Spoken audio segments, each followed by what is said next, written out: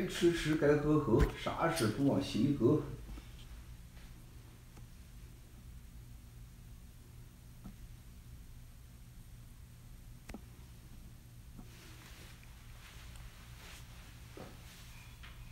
尊敬的网友，大家好，现在是文贵五月十三号报平安的视频。哎呀，这个今天看着我打着红领带，鲜红的领带，我也搞错了。这个我以为今天是母亲节呢。哎呀，从这个洗手间出来以后说你打那么红领带干什么呀？啊，那也搞错就搞错吧，就当成了这个这个红鸭黄嘛，这是。这个火是火啊，黄是土，火生土嘛，土生万物。这两天关于黄燕女士的这个黄色故事太多了，咱就火，咱就红一下，避避邪。今天啊，这个一开始，这个很有意思，因为昨天晚上这个有很多这个推友们的各种关切啊，我先简单回复一下。这个特别是我后面这个背景的问题，因为刚一开始的时候，大家知道是后面是一个猴。然后后面有这些呃横线，但是有朋友说文贵呀，你个横线跨到你脖子不好，那就抹掉了。好，好，我说那赶快就换一个画，就换了个猴的画。那个猴的话呢，大家又觉得不好，说这个那个猴的画不吉利。大家看昨天我画了，然后昨天我又换这个画，有人说这不好不好，太乱了，太乱了，就没办法。我这我说这个这个民意呀，有时候这个统一确实很难。所以我这样人呢，这个，呃，确实这个你要让我当官我就惨了，因为我最在乎的民意，人家的意见我都特别尊重啊。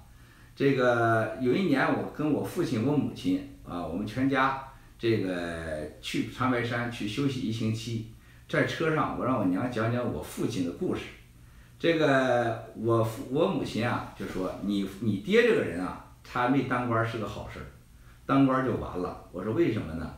他说：“你爹胆小啊，绝不会贪钱，也不会害人。但是你爹可能是倒在女人的手里边。”哎呦，我说这这是对我父亲的漏见。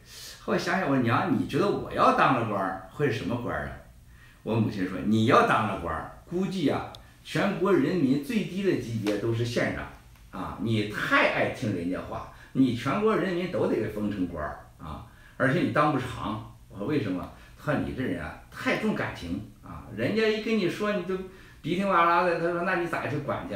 他说：“当官的都是心狠手辣，杀人不眨眼，瞪眼说瞎话。你这三样都不是啊！”哎，我觉得我娘说的有道理。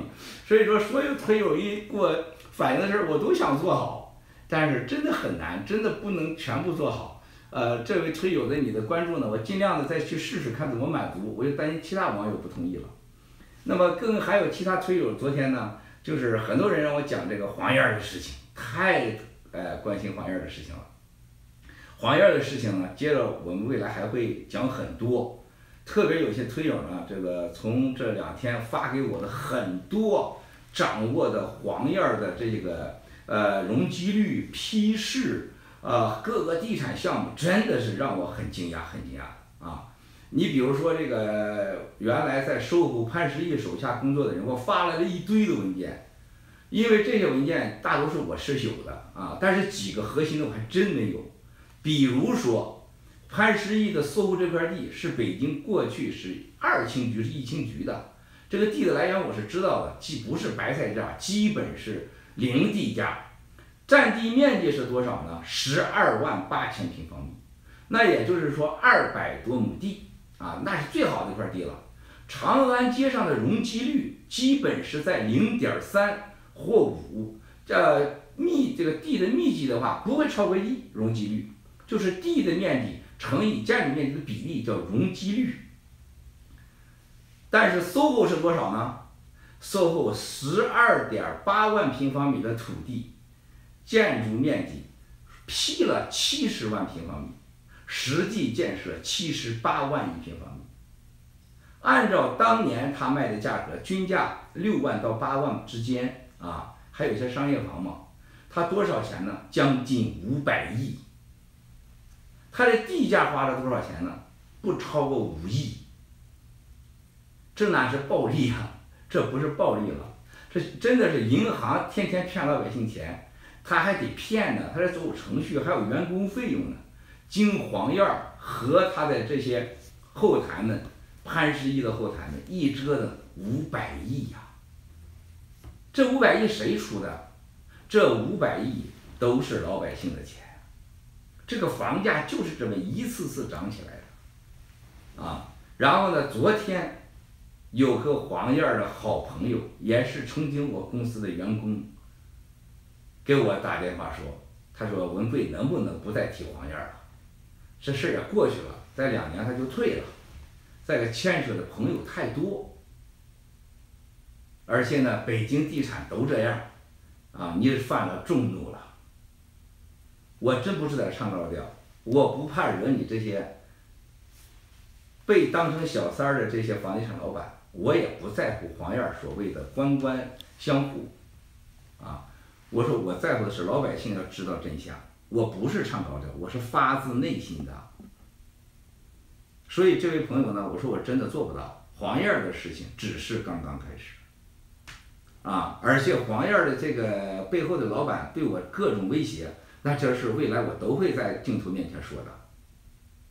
北京这些年的地产，你去看看去啊，哪个楼，哪个项目没有黄燕儿的影子？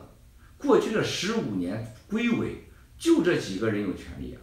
这些房地产开发商里有多少人都是归委出来的呀？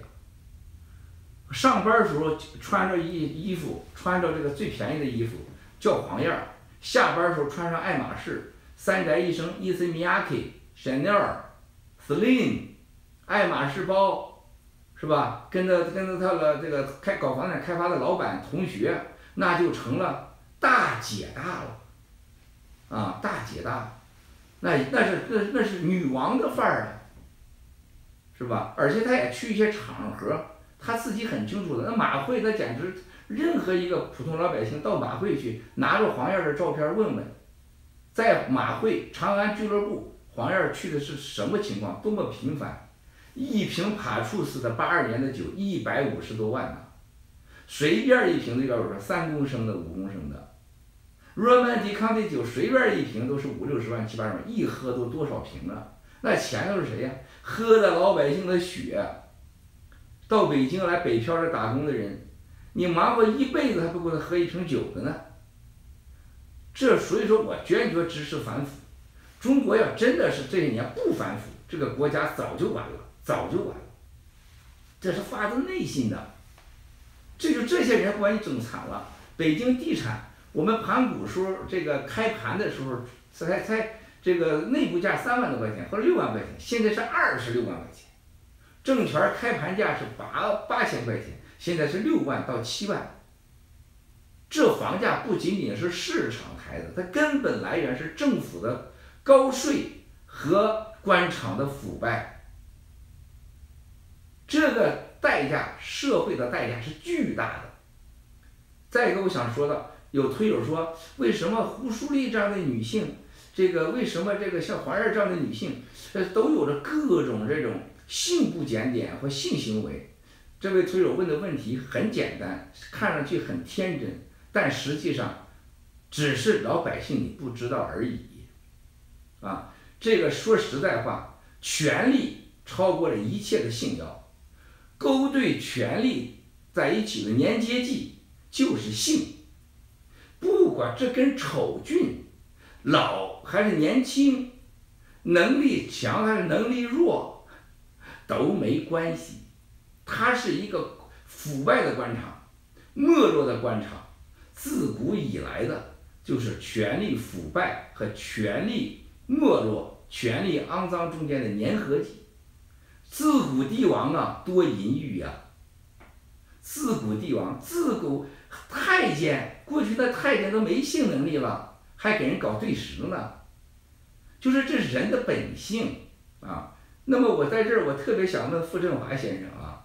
北京查什么天上人间？查这个什么保利俱乐部？那保利俱乐部我可去过，我被北京市的领导给带去保利保利俱乐部啊。说到这儿，我带的是二零零三年，哇，那个俱乐部了不得，那几百个小姐啊。这个我喝了大的酒了，醒来时候已经在香山饭店，在一个大房间里边，旁边四五个美女啊，一丝不挂呀。我傻了，那漂那姑娘漂亮的简直是不行了，就是，哎呦，这事我还好，我老婆不看我节目，看了回去掐死我不行。凌晨三四点了，我这一醒来，这这是旁边几个女孩啊，我说这咋回事啊？人说这谁谁把你带来的？这位市领导现在是叫进政治局了，都要进政治局了啊，已经在政治局了，要进常委了，可能要。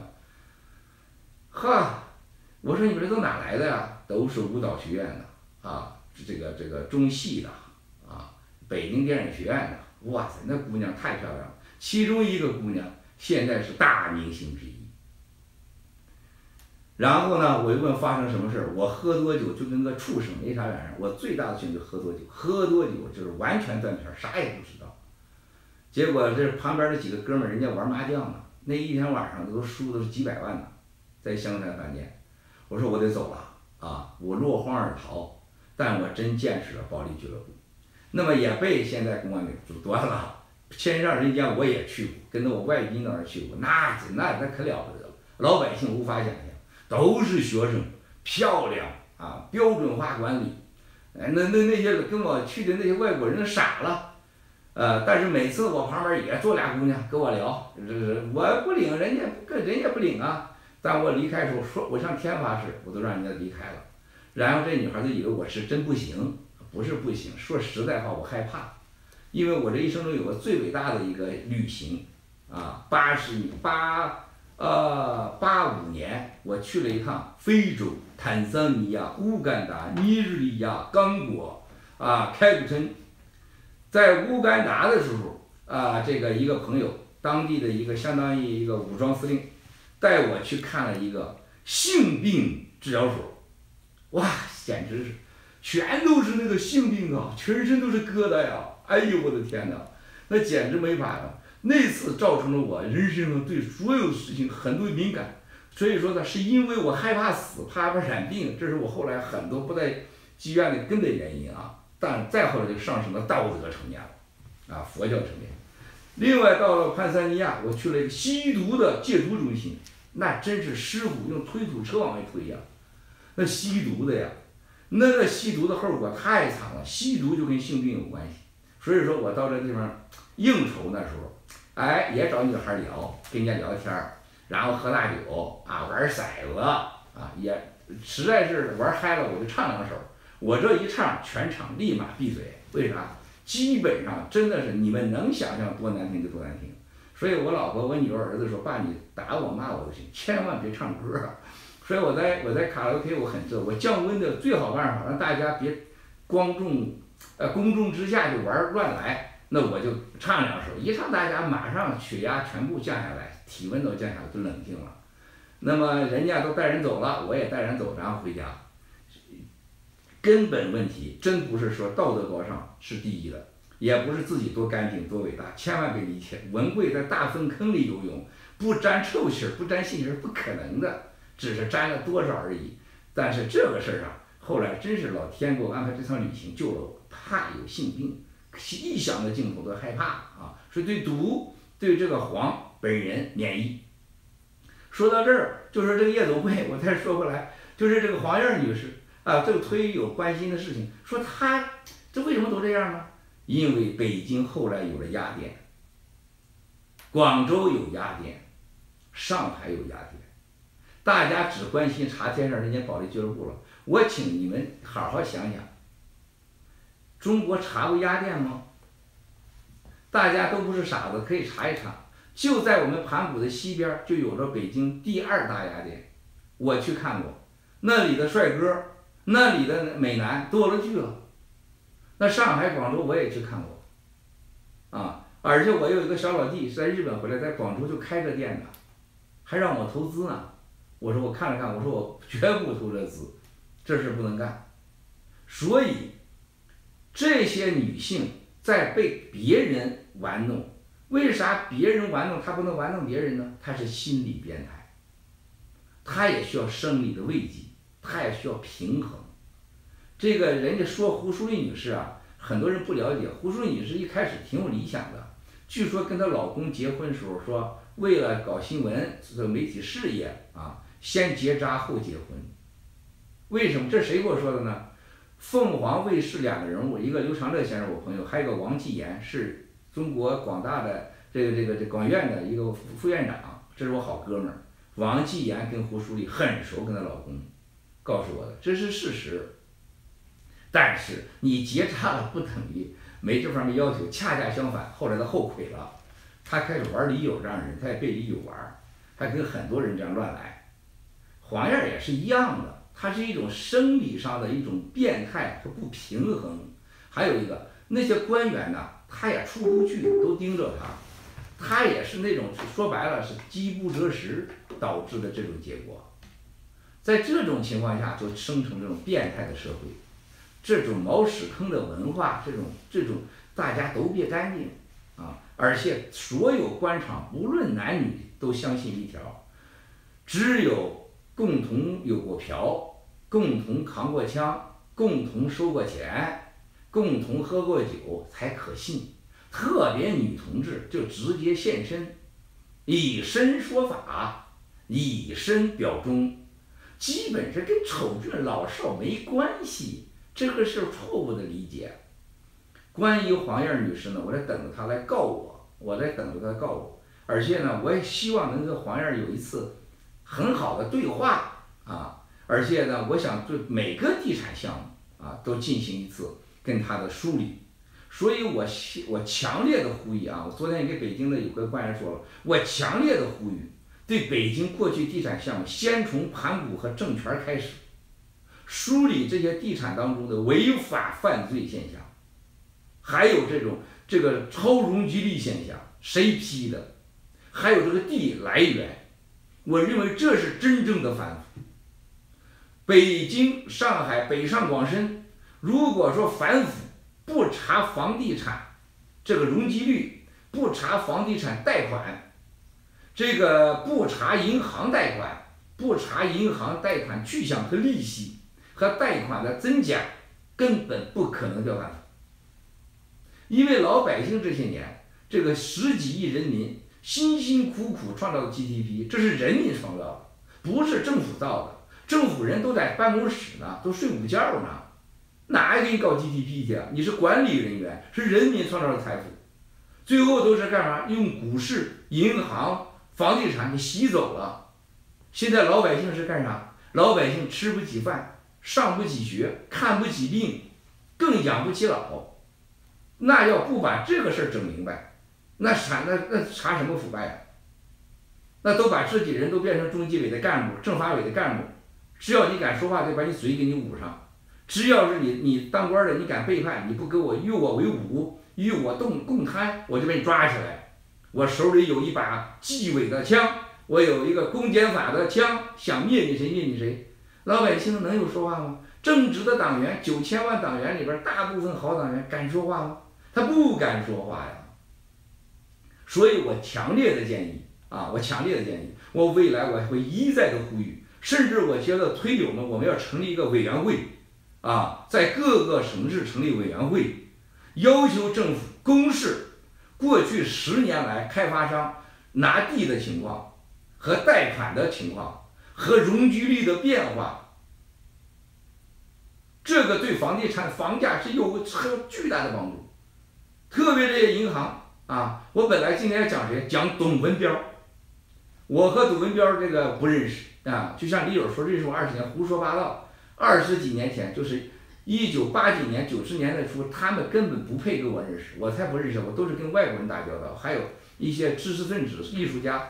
董文彪当时在河南，当时后来他娶了人家这个人民呃人民银行人家这个这个学院的人民学院的校长的女儿，后来进了民生。啊，原来海通民生，后来老董从民生那儿发了大财。董文彪的事情我知道太多了。这两天他们告诉我说，呃，董文彪又被边控了啊！去年被边控回去了，他又被边控了，因为这个肖建华把他给爆出来。肖建华和他的事情我知道的太多了。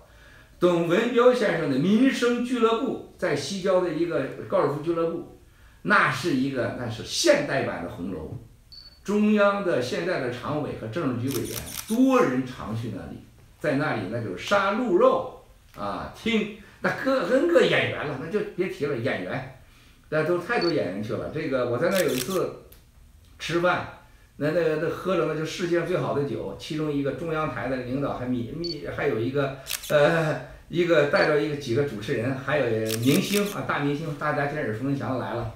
哎呀，这位主持人一进来，哎呀，我不喝酒不喝酒，人家一拿出来茅台，五十年茅台，哎，这哥们儿马上哎，那哎茅台这得喝，然后倒上去，这个我先啊，各位啊，郭先生第一次跟你认识啊，我先自罚三杯，啪啪三杯，然后到我这儿，郭先生，我再敬你三杯啊，但是我替你喝了六杯，老董看不惯，老董说你他妈的这五十毛年的茅台，还八十年，还不是五十年。你先给自己弄六杯，我这多少钱一瓶你知道吗？还有一个领导的人民银行现在的副行长啊，这个一看这个老总拿的那是那超级呃拉菲，拿过来说，哎，我敬你们一人敬敬一下，我先敬为敬，先先喝为敬。老总不高兴了，老总很小气了，说这个你这一喝喝我好几千啊。所以说董文彪的事儿我比较了解，那民生的腐败。民生骗取老百姓的钱，民生要把真相给戳漏了，民生零，资产是零，啊，那就别提了。那个董文彪是经常给人家就过去拉存款，手里拎着一百万美元，找财政部存一下钱，一百万美元交给对方。这是财政部现任副部长告诉我的，啊，我可以说说他名字都啊，他可以来给我对质。所以民生太腐败了，这个董文彪这个还搞了一个什么猪民头。那都是骗子暴发户呢，绝对是骗子啊！灾难阶级，中央的领导的夫人，政治局常委里的夫人，和在民生里的政治利益，还有那种骗钱。你比如那时候搞了一个董文彪，叫做古画啊字画拍卖，字画收藏。一个我的朋友五十万买了一幅所谓的欧洲的画，评估五十个亿，啊，后来。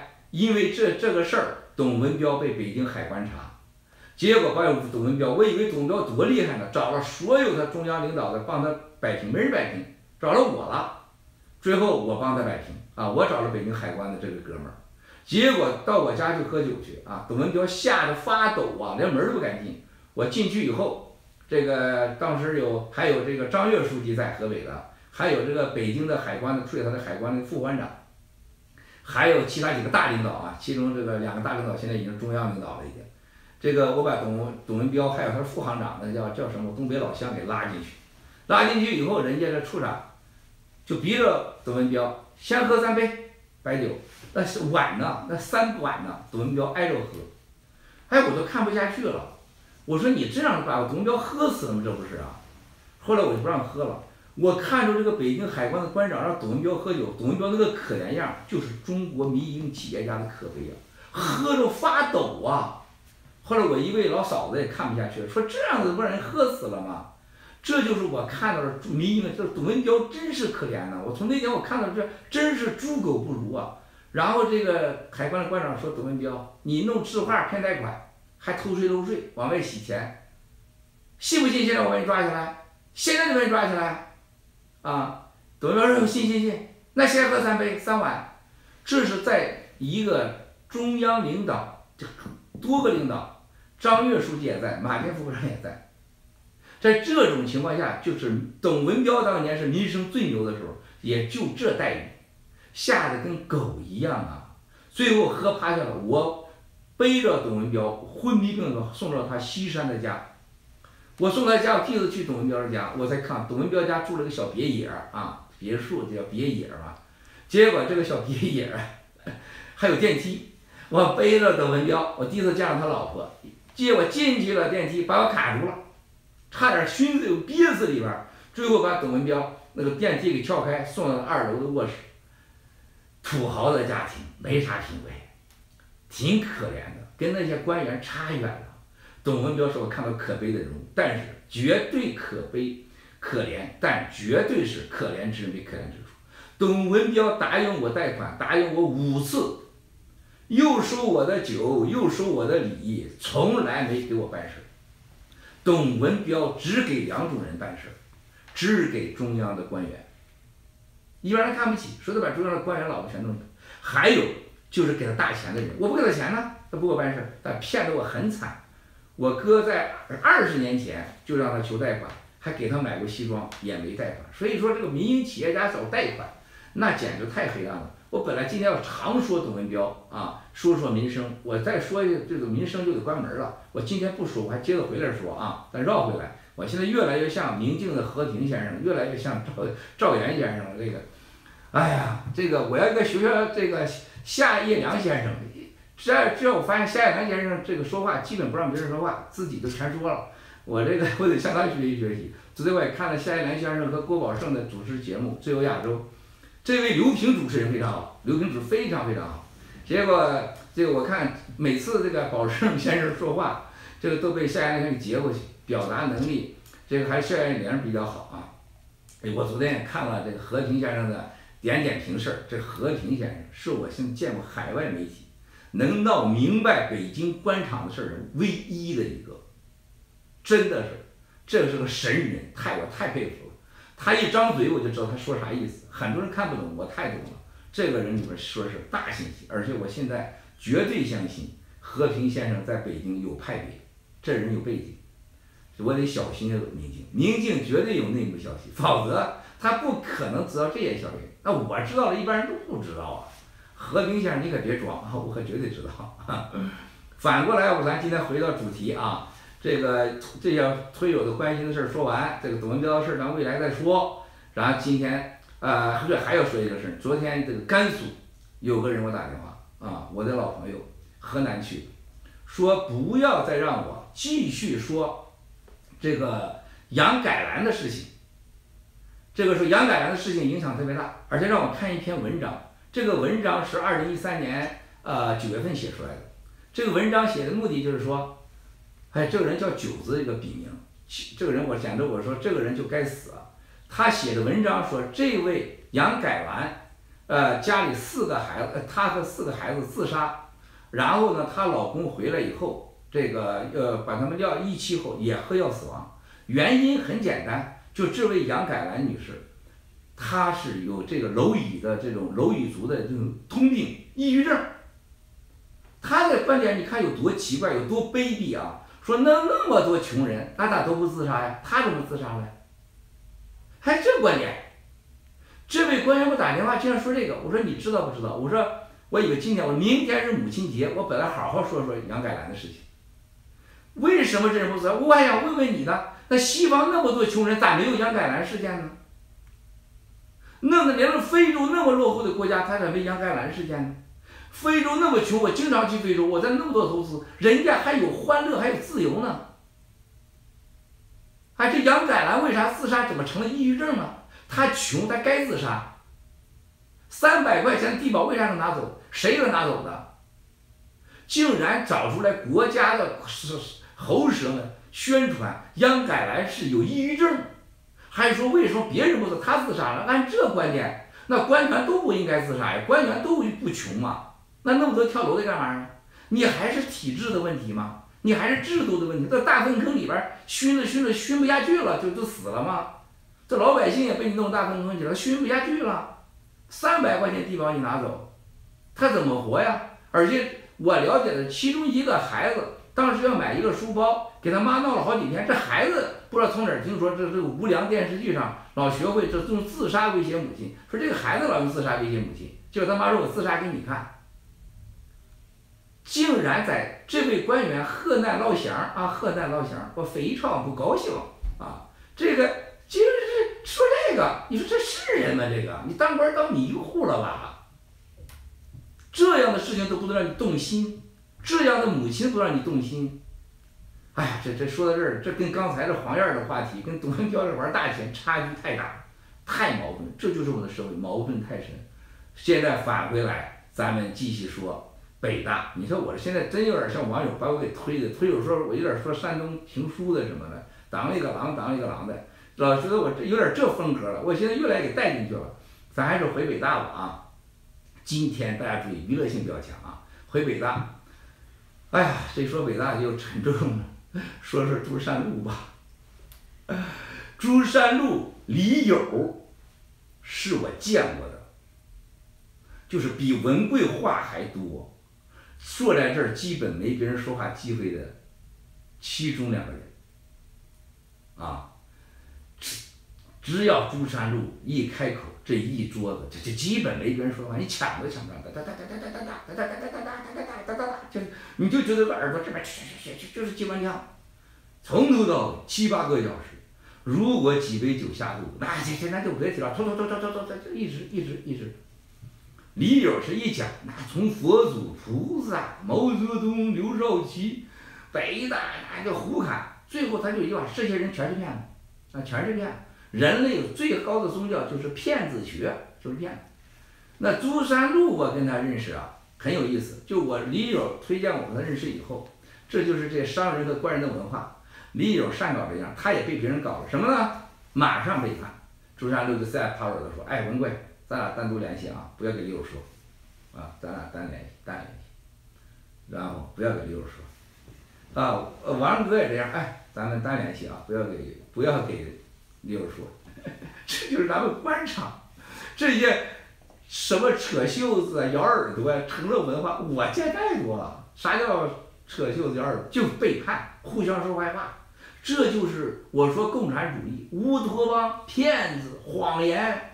都这样，北大这样，结果好，我跟朱传禄单独见面了。见面以后，到我们四个院儿来开始喝酒。一坐那儿，啊，还没没喝酒之前，先说，我刚刚去中南海了，我不能说名字啊，说名字就犯大事啊。最高领导，他闺女到我这北大来学习，然后呢，想弄个副院长，我给他说，王二哥也不同意，说副院长要等一段时间不行，先从基本开始。我他妈可以说那个院长嘛啊，那个院长怎么不行呢？你说一坐在那儿就把最高领导的家人私事就给我讲，然后怎么请来吃饭，怎么讲怎么讲。后来我坐那喝酒，哎，一看我这好酒啊，八十年茅台，一看我这菜也好，四合院儿，一开始背着手给我讲讲南京的经历，然后开始，我们这一瓶茅台下肚，朱山路同志开这口就轮不上我说话，说我只能。像主持人一样偶尔提问一两句，啊，其中一个让我提问，我认识了，这是大家要注意啊，我认识朱山路和王哥都是从他俩的各两句话开始的。第一句话，我说朱书记，你给我说说，六四当中北大和北大的学生扮演什么作用？我真的起鸡皮疙瘩，他一愣，看看我。他用了一个大家都无法相信的词，所有北大六四参的学生都是傻，那个叉那个那句话，傻那个叉这是一个中共的一个中央委员，北大党委书记。我说实在话，我郭文贵要是二十年前，那我觉得一脚就把小子踹楼底下去了就。对不起啊，朱山书记，对不起啊，情绪情绪。但是我还是忍住了，深呼吸，深呼吸。当时我嗓子就砰砰砰一直跳。这是他最优次。昨天晚上有个珠山路的小情人，也是北大的学生，昨天打电话给我替他说情，不要提珠山路说情。然后这个女同志也帮过我忙，说到最后时候，我全身又起鸡皮疙瘩，痔疮又掉了一地。最后说着说着。郭先生，你不要这样子嘛！哎呦，我这想，我说，哎呀，我说咱不能耍嗲，这你这一嗲嗲的，我就受不了了。但是我今天还得说，朱山路，啊，你这个说情我不能接受，你再嗲我也。关贵现在孤，现在虽然孤家一人，很寂寞，但是这个嗲不能让文贵失去原则，不是不能这样子吗？我真得这样子，啊。朱山入水那句话，我就知道这个人完全不是。一个知识分子，完全不是。啊！而且是。这样的评价六四，他怎么看待学生？第二句话，他让我对这人一下子就完了，因为他给我讲述他年轻时在东北的恋爱。当时有个人啊，对不起，我要谈到名字了啊，刘少奇主席的女儿，刘源的其中一个姐姐，刘源先生，他们要谈恋爱，谈了很久。最后要选择是进北京啊，还是说这个不跟他恋爱？他决定来北京，考上了大学，放弃了恋爱。后来我问他，我到现在为止，你后悔？你觉得是选择来北京好，还是当时选择一个自己的爱伟大的爱好？他说，让我现在选择，我还选择仕途。你说这个人呢，你说这个人呢。一个这么对感情、对爱情的不尊重的人，对学生这种伟大的这种人类的最这种最重要的这种积极动力，人类是人性之火，人类之希望，年轻人的生命，这种激情、责任、社会的脊梁，当成傻叉的人，把爱情视为粪土和交易的人，当北大党委书记，能好吗？能好吗？哎呀，后来我跟他聊天，知道了这个人是领导送的，那个人是领导送的，包括他外省的省委书记、省长找他送学生，是什么当地的什么优秀学子，都是这领导的情人。他的回答都是，喝完酒以后就说：“北大是谁的北大？是党的北大，中央的北大。啊，你们送来的孩子，那都是那是党的孩子。”咱优先培育党的孩子吗？先服务人民，那党是人民，首先是党来自于人民呢，先服务党啊！我说这些领导送孩子，绝大多数都是女性吧？他说还真都是。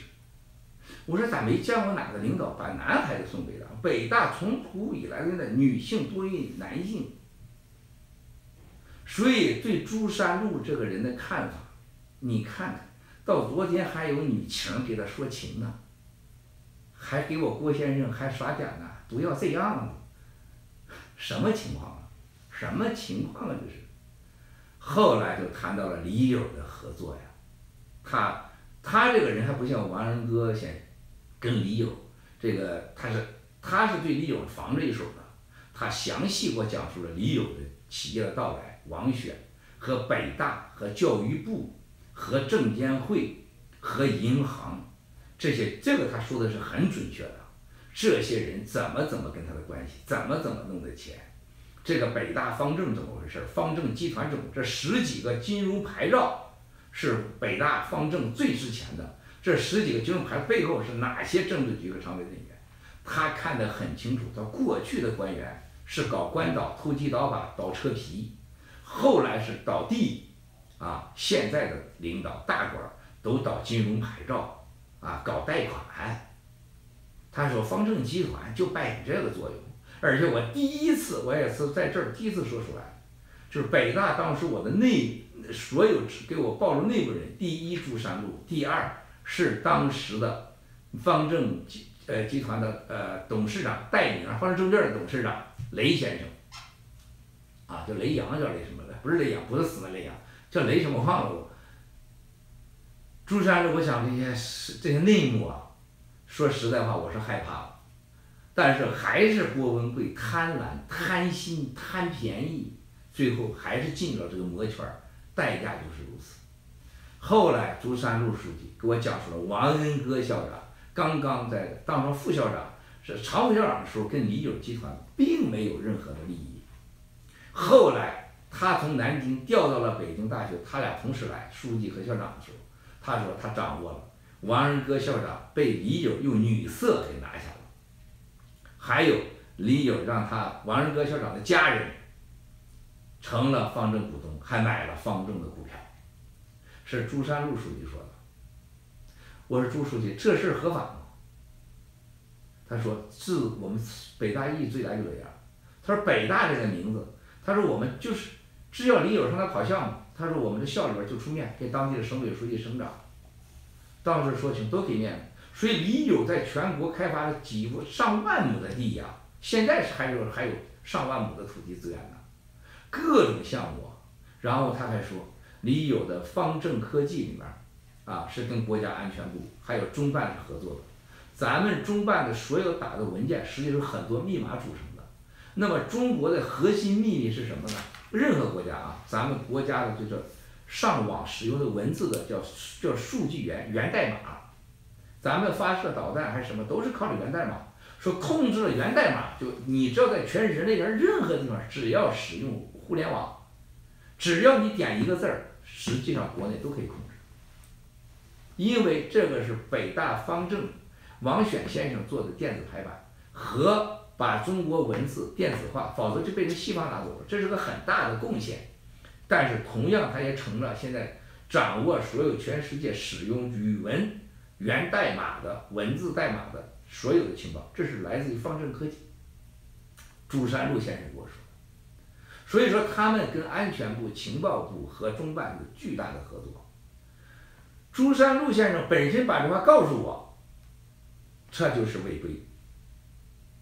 更重要的事情，方正科技。掌握着这个技术，就成他说成了李友重大的一个手段。为什么呢？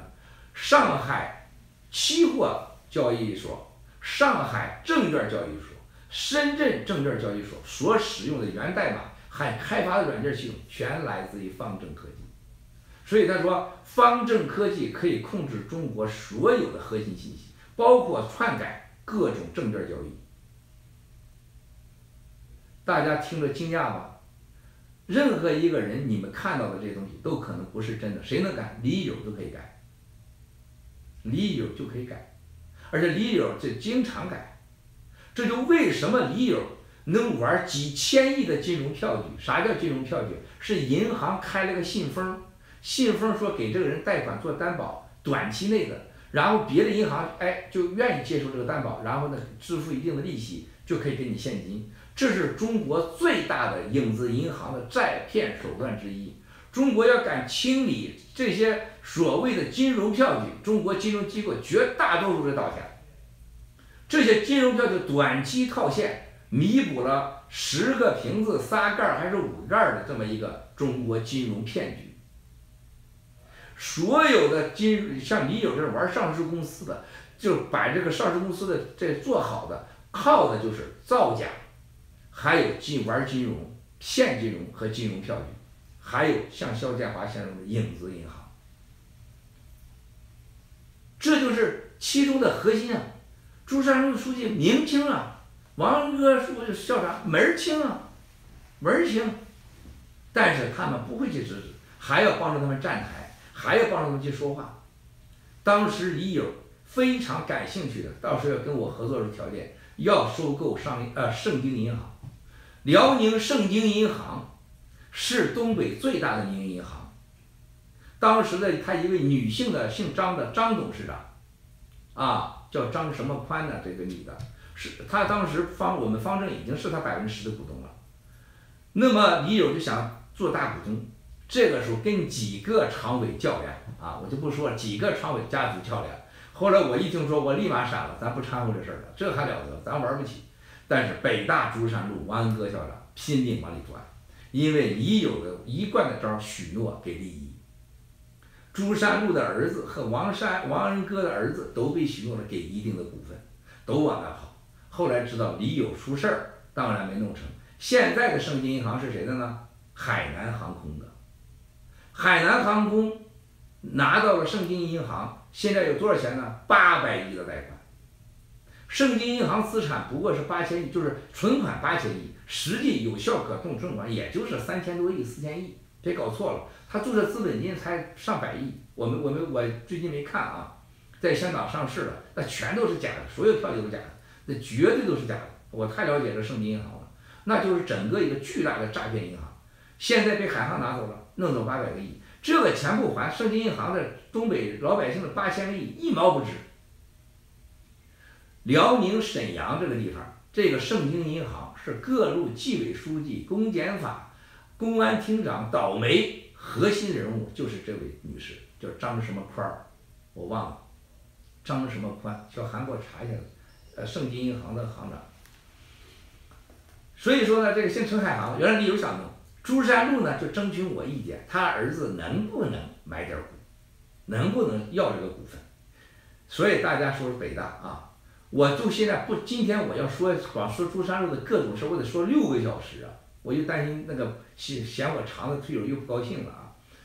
就说这三件事儿，你说北大这个珠山路这个党委书记这个校长有救吗？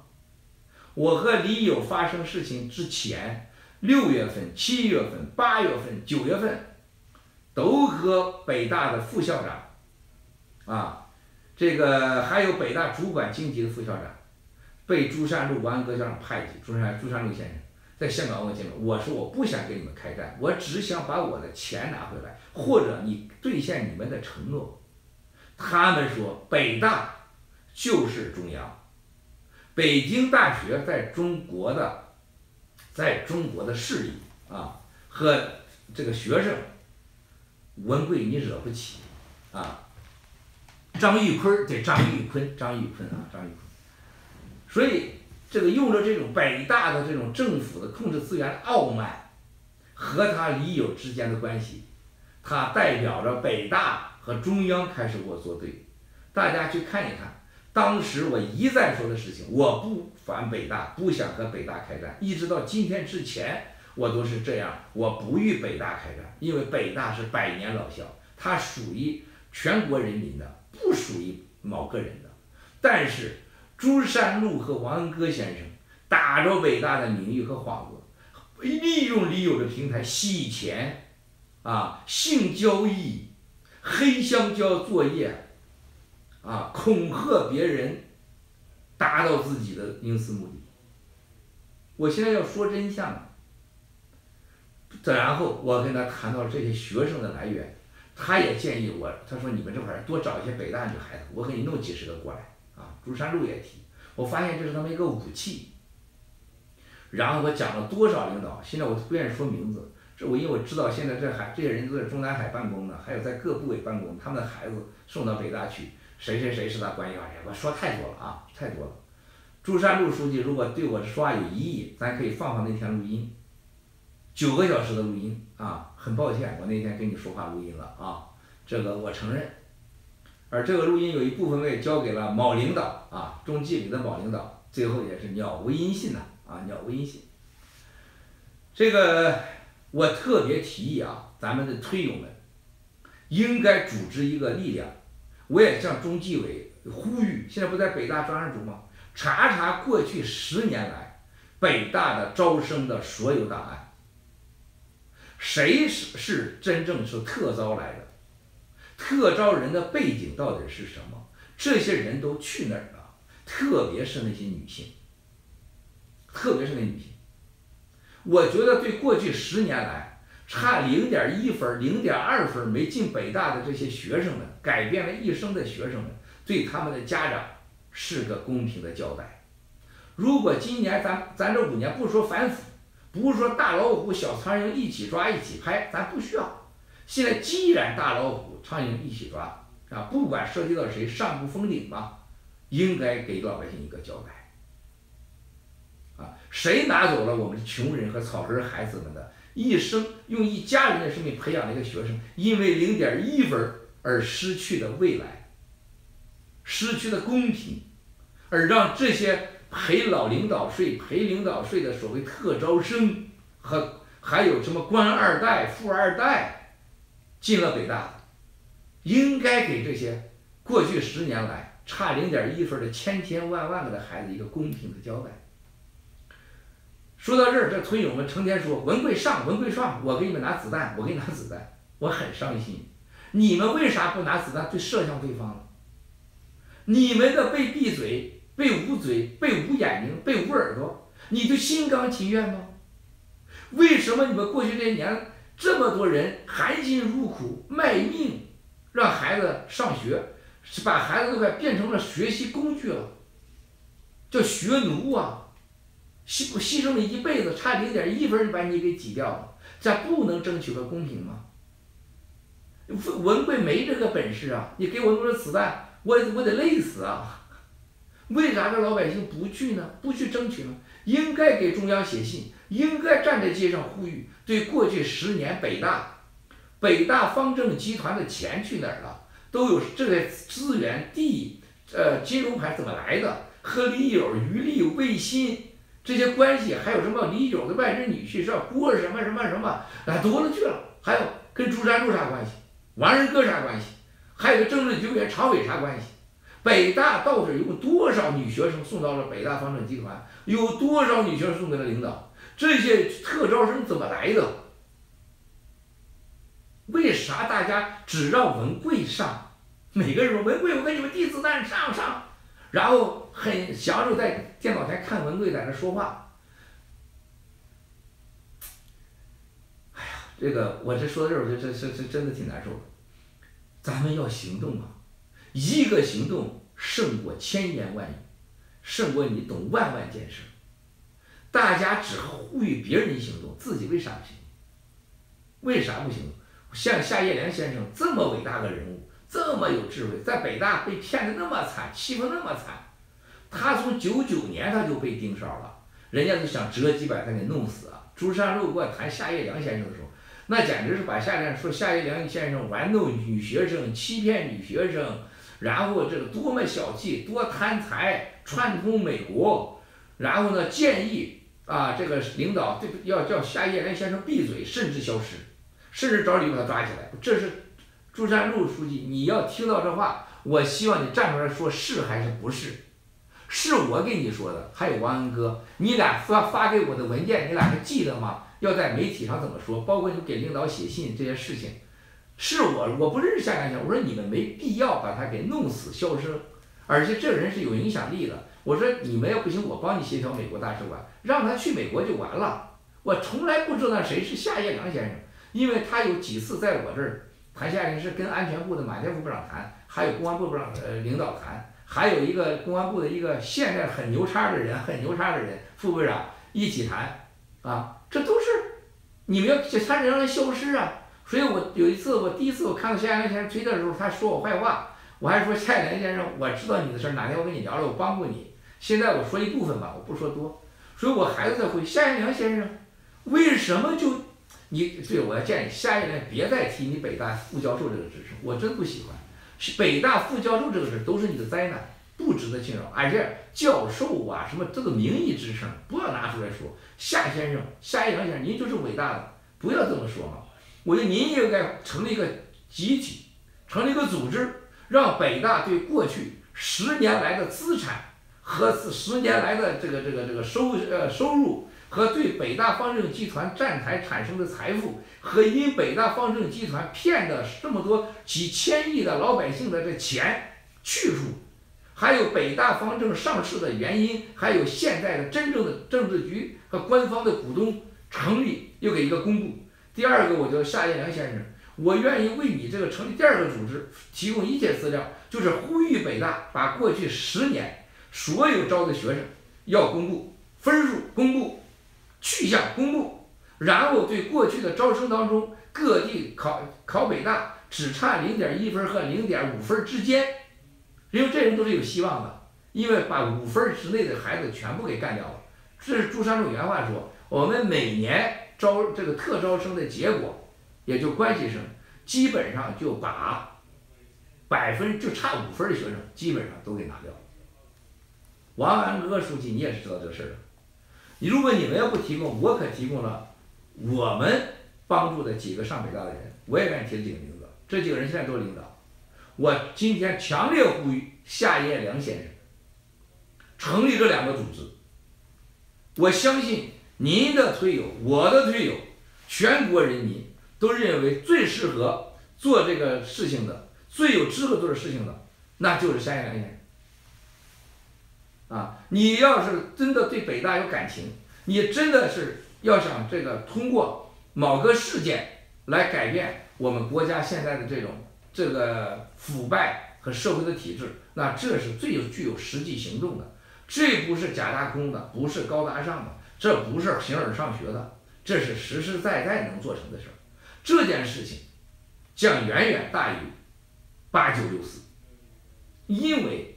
他会给中国的年轻人、孩子们正在读书的孩子们一个未来，一个公平。要不今年招生又要把各大院校、各大院校变成了这些官二奶、官二代、富二奶、富二代，还有小三儿们，他们掠夺我们这些草根穷人孩子上学的机会了。夏业良先生，如果你要做了这件事情，千秋万代呀！文贵，我愿意就是给你三颗九拜每天去做事情。文贵没文化，水平不够，我也不懂这里边的细节，但我愿意提供一切的经济和可能的支持，跟你站在一起，当你的秘书给你开车我都愿意。我希望刘刚先生，这北大出来的，能和夏彦良先生站在一起，一起为北大呼吁，把给让阻止今年开始啊，不再让腐败，不再让这个黑教育，不再让这种性交易、性教育，呃，侵蚀北大，还北大这个北京大学这个招牌，不要再让北京大学这个招牌上流着这么多这个穷人孩子们的血，然后让这么多妓女的这种月经的血污染北京这种这种这个牌大牌子了。北京大学的牌子该该好好写一写。而且对北京大学在以北大方正集团多家上市公司继续欺骗股民，继续骗这些股民和过去骗的股民，必须得有个停止和交代。郭文贵是百分之二十三的股东，我愿意，如果你们这么做，我愿意把这二十三的所有的股份捐给国家，一毛不要。我敢做这个，北大要吐出来代持李友这三十的股权。和代持的这个政治局委员、常委、股东的钱，应该把方正集团的资产全部打包公开拍卖，还给所有的股民们，骗的这股民的钱。李友呢，在东莞的呃那个酒店，那叫什么酒店？李友东莞那个，我查查，那叫什么雅酒店？那里边藏着几十亿的玉，那些几十亿的现金，这个上海的这个这个这个几十亿的这个资产，还有打到新加坡的那个账号里边的那几十亿美元。啊，台湾的钱应该还给这股民。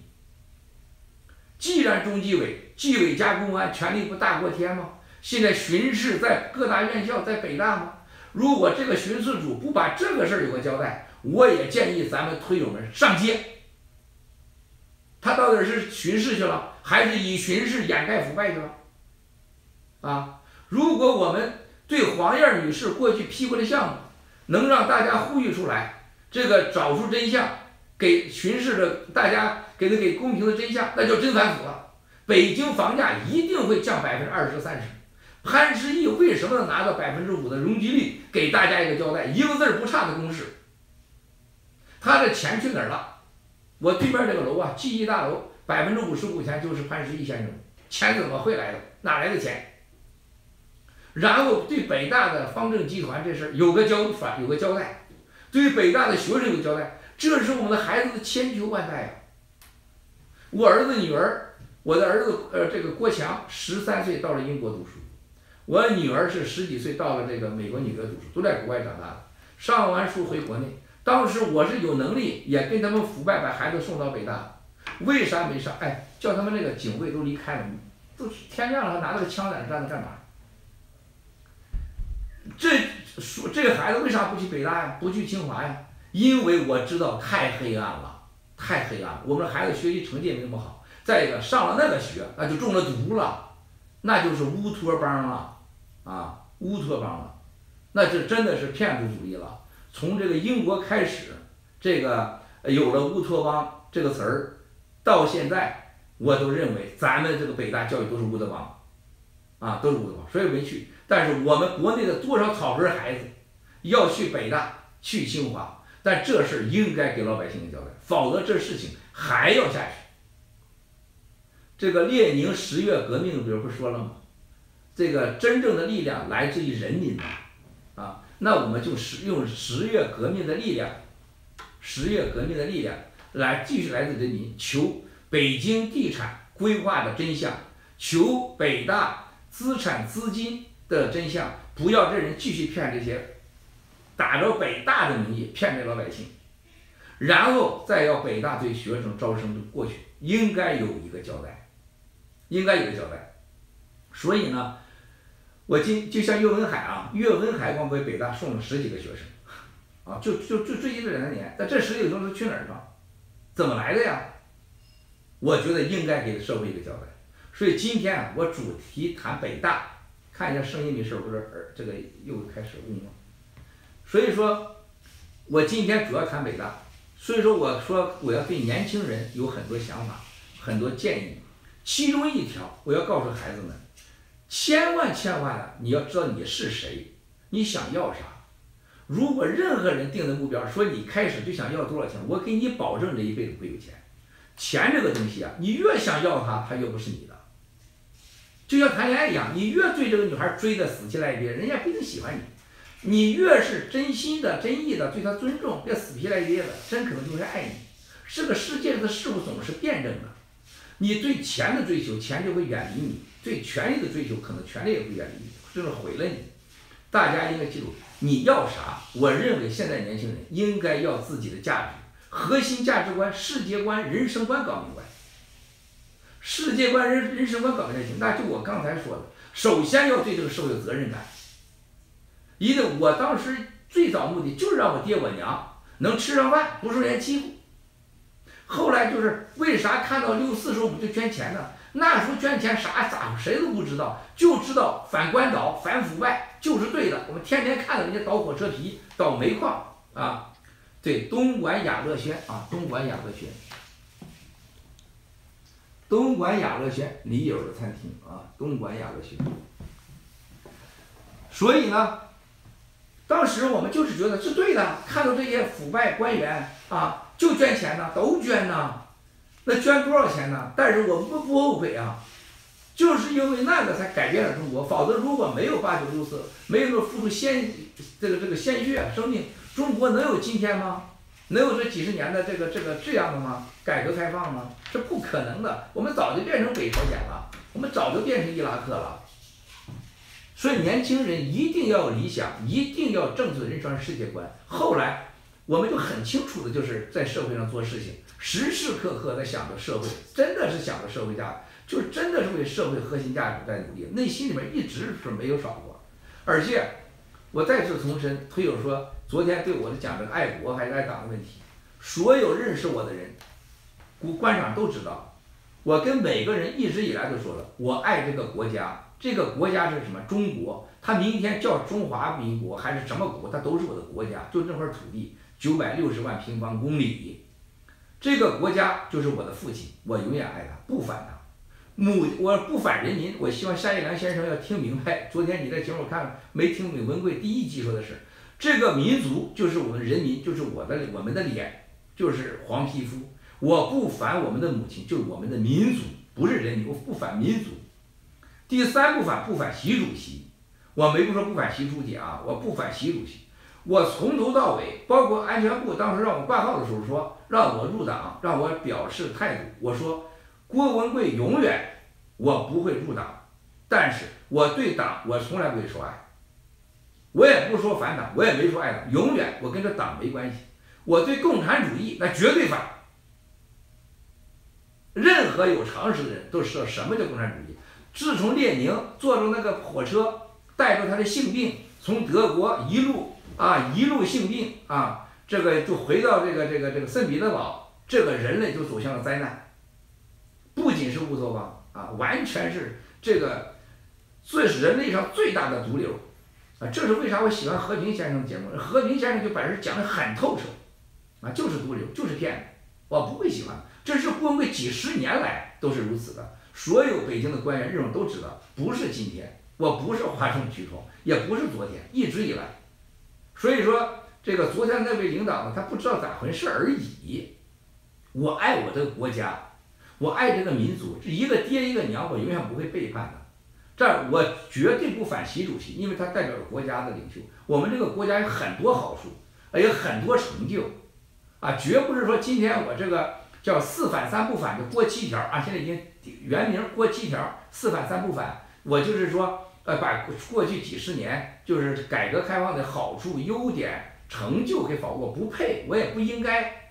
我认为成就是巨大的，创造了人类的各个奇迹。如果任何情况下中国乱了，咱们万劫不复，绝对不能乱。我也不相信现在说这个有多么大的改变就能怎么着，可有大的改变，但前提不能乱。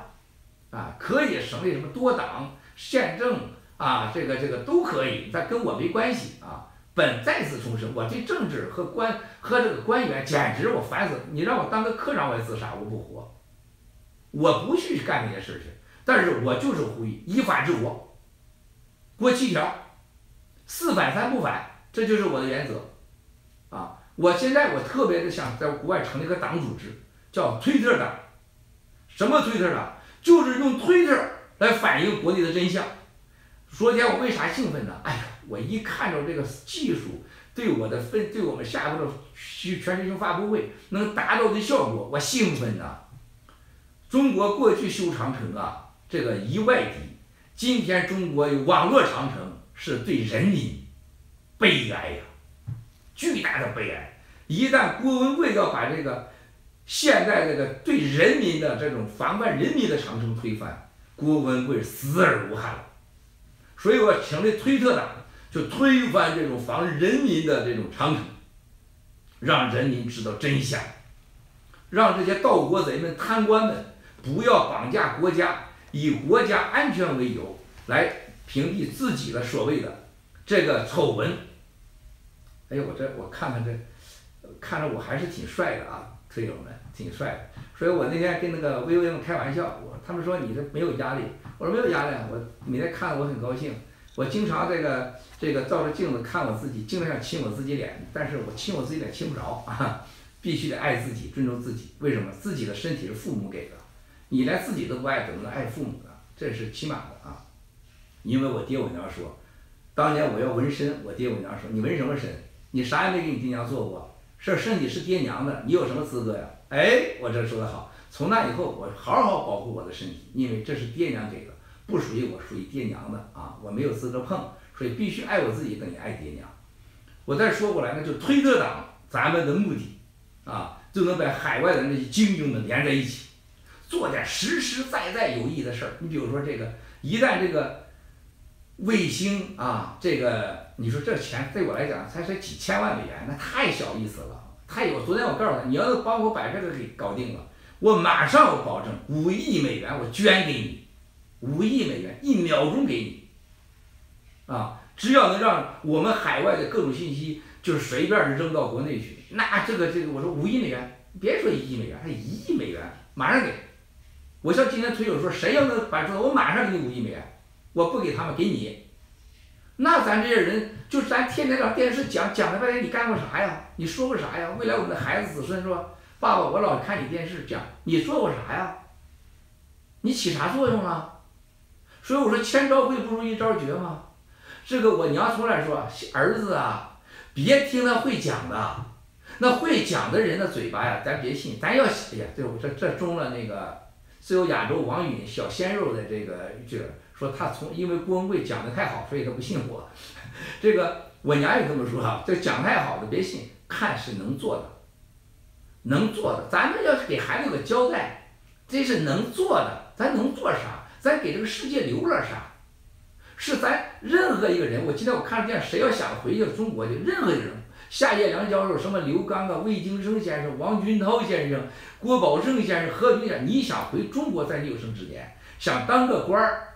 绝不可能，我敢拿命给你这个这个赌，任何兄弟都当不了官。别想出名，你已经出名了，捞钱我也觉得不可能啊，大钱不可能，只能是未来在历史上你真正的推动时代进步做了哪些扎扎实实的事儿。我认为像突破防火墙，还有帮助孩子们这个真正的学习的孩子们，让这些人上了。北京大学、清华大学、西南大学、东南大学，东南大学有黄燕同志，要小心小心啊！这个东南大学，哎，这各种学校，让这些孩子们在高考前，他在海外天天呼吁，让他们实实在在的不被那些这个官二奶、官三奶们把这个孩子的机会给抢走，那就伟大了。不一定哪天咱们的孩子就出来一个伟大的领袖啊，出来一个华盛顿式的人物啊，这多有意义啊！所以昨天我一听我兴奋呐，啊，这有意思啊。那么另外一个，咱怎么能把这个老百姓住房那么贵？这些利益集团是假反腐，以贪反贪，以黑反腐，还是继续骗老百姓啊？还有这个这个北大方正骗老百姓的钱，能不能把这个教育让中国教育别做地别做生意了？江总书记和曾庆红主席做了个最伟大的事儿，我最佩服他俩的两件事。第一件事就是不让。公检法军人做生意，那时候文贵家里头十几台军车呀，我现在想想都丢人，我要扇我自己脸的。我那到哪都开着军车呀，那因为跟人家军队合作嘛，还有警卫局嘛。后来这个不让做生意的太伟大了。你今天想想，美国有个人开着军车做生意，你不觉得是个悲剧吗？这是他们两个这是做最好的。第二个做的最重要的，就行政改革当中，其中包括了七上八下。这个七上八下就把那些，呃，恨不得死到官位的、死到官邸的人，就彻底给断了希望，让真正的年轻人熬一辈子有一个机会，让那些老同志在惧怕死亡的时候，把恐惧带给了百姓，把恐惧。带给我们这些穷草根们带来的灾难，就是文化大革命，就是六四灾难，不要再发生。这就是江总书记、曾庆红主席做的最伟大的事儿。我跟他俩真不认识，他俩，习近曾庆红主席曾经批过。一九九九年我在美国躲的原因，就是曾庆红要抓我，因为菲律宾的总统阿斯特拉达给朱镕基总理一封信，朱镕基当场批示，当场批示啊，要把工会抓了。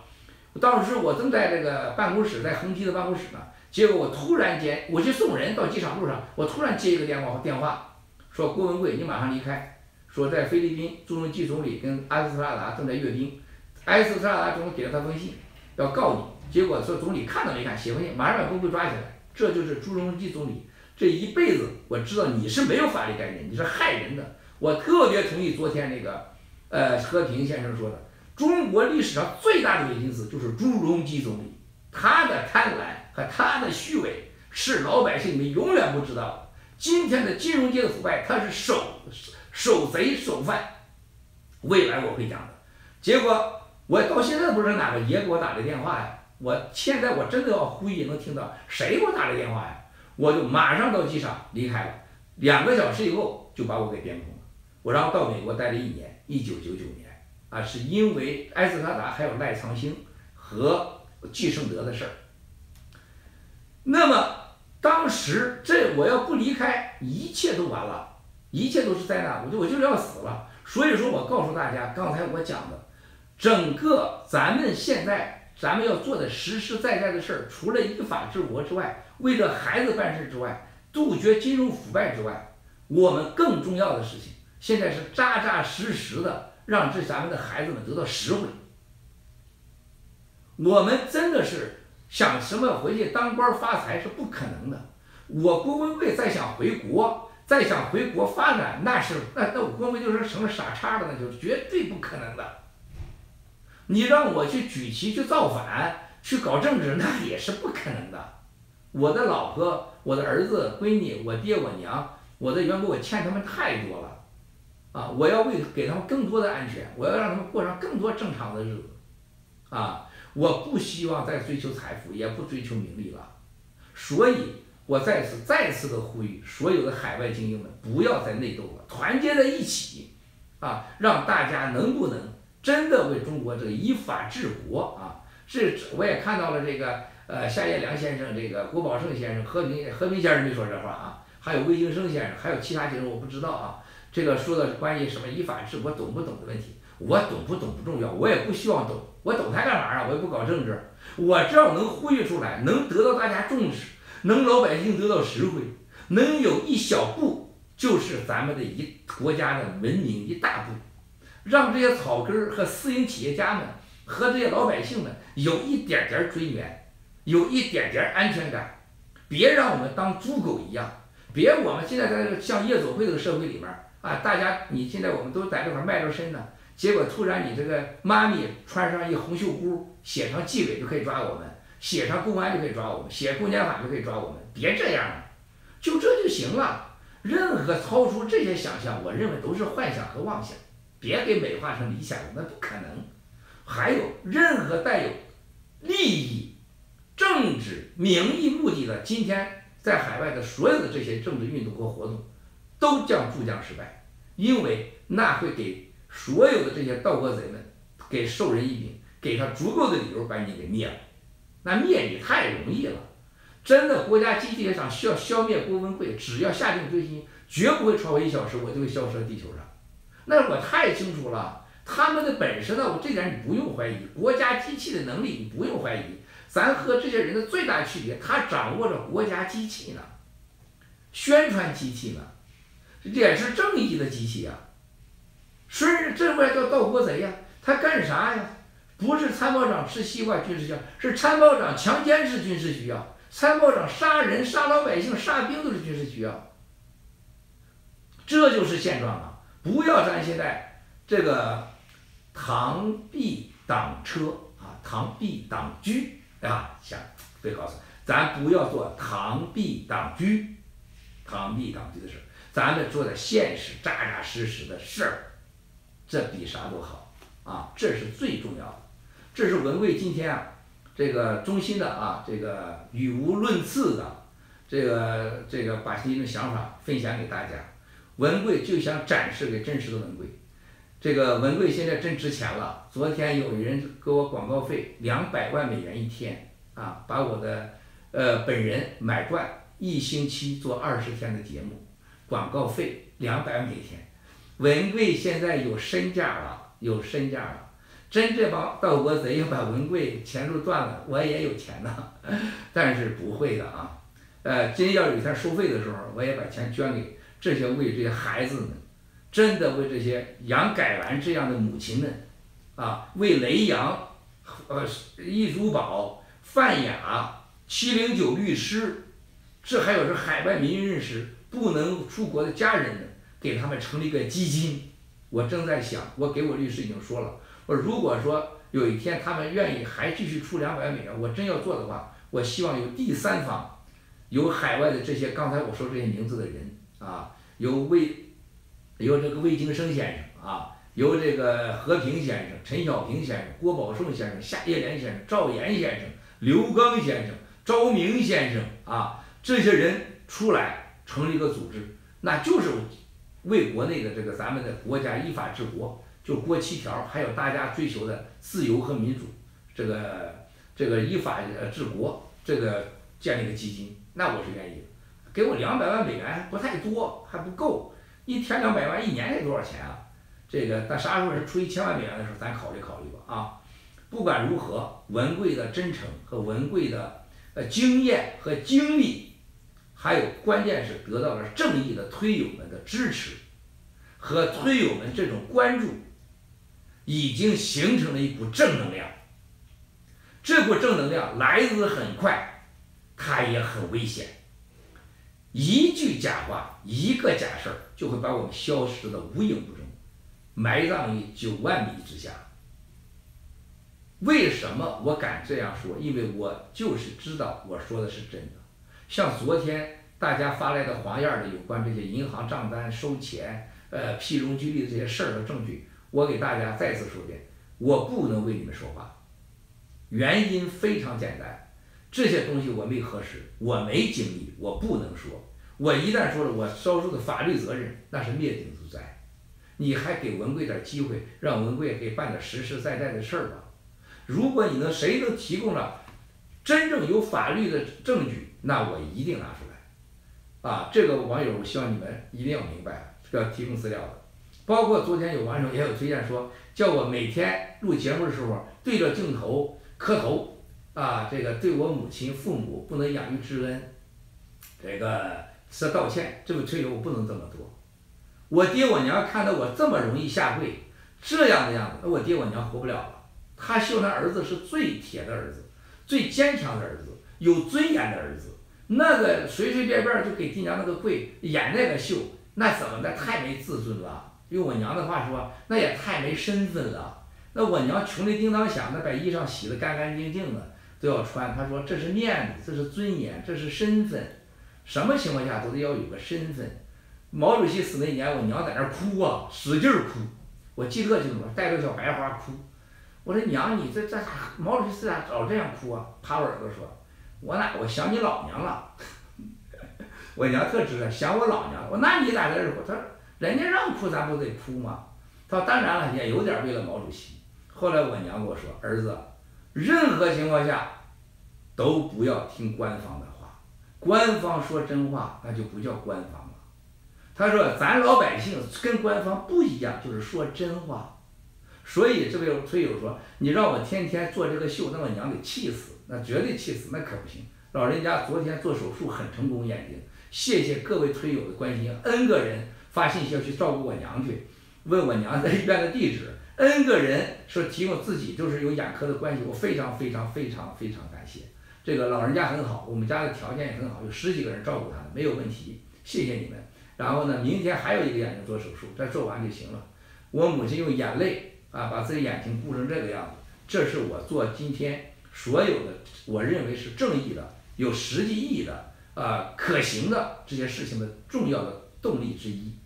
我真诚的希望所有的推友们能和文贵一样，不是跟文贵拿子弹，希望你每个人都举起你手中应有的权利，能在干强。希望大家能在文贵的麾下维护你母亲的尊严、你女儿的尊严、你老婆的尊严、你爹、你哥兄弟的尊严，让你哥哥兄弟们不被抓进监狱去，让你的母亲、妻子、女儿不被人家给侮辱。大家应该是不要在这块儿只当吃呃这个这个这个叫什么吃瓜的，不要只是让人外人看不起，这个只让纵容别人做，自己不行动。应该每个人都成为郭文贵，因为每个人成为郭文贵，我们就一定会让这个国家更美好、更安全，真正的达到实现我们的中国的国七条的梦和民主自由的法治的梦。这是我强烈呼吁推友，不要只给文贵点赞，要给自己点赞，让给要让自己的家人和朋友给自己点赞，让文贵给你们点赞。强烈的呼吁夏一莲先生，就回应我的呼吁，赶快组织这两个呃机构去阻止自今年的北大各个院校成为官二代呃这个富二代、官二代、富二代的被抢劫的这种。淫秽阵地，今天我不讲那么多王安哥的事情，我还给他留点面子，留点时间。如果王安哥先生还以为你呢大老板，你以为我不敢说，你还以为你在美国事我不敢说，你还以为你的孩子事我不敢说，你试试看，我再说你，我还给你点时间。朱山路先生，我今天只讲你百分之一吧，啊，也够意思了。你那个小女友那个，呃，郭文贵不要这样子，我告诉你。我一定会继续这样子的啊！南京的板鸭我收到了，谢谢你啊！过去收到的不是现在啊，以后不再吃你板鸭了，因为担心你下毒。今天的文贵报平安直播视频呢，就到此为止。我希望明天是星期天，明天星期天母亲节，所有的人都应该给文贵的面子，拥抱母亲三次，三次亲母亲的脸。如果是母亲不在的，应该。为母亲去诵经祈祷，然后这个旁边有妻子的，好好拥抱自己的太太，她是年轻的母亲。中国的核心价值、核心信仰就是母亲，就是家庭，啊，不管儒释道，也不管你是哪国的教啊，三教九流都要记住，母亲是我们的信仰，是我们的天，父亲是我们的地。所以呢，希望明天大家好好陪伴家人。我文贵明天就不打扰你们了，我就不报不播平安视频了。我们下周一早上纽约时间八点见，北京时间晚上八点见。文贵说的不到之处，请大家多多包涵。有涉及的人：朱山路先生、王安哥先生、黄燕女士、潘石屹先生啊，这个还有这个这个这个呃岳文海、岳文海老乡、岳文海先生啊，这个可以。你要说的不对的话，请多多包涵。欢迎你们起诉，和我一起面对镜头。谢谢大家，谢谢，一切都是刚刚开始，谢谢。